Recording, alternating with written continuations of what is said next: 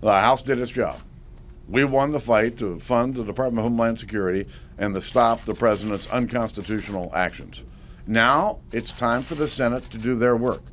You know, in the, in the gift shop out here, they've got these little booklets on how a bill becomes a law. Right? The House has done its job. Now, why don't you go ask the Senate Democrats when they're going to get off their ass and do something other than to vote no? I believe that if we're going to authorize the use of military force, uh, the president should have all the tools necessary to win the fight that we're in.